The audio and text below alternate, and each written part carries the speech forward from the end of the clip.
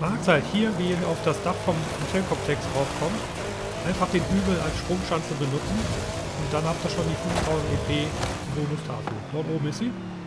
Zack, so einfach kommen wir da drauf. Ja. Ich hoffe, es hilft einigen. Danke fürs Zuschauen. Tschüss.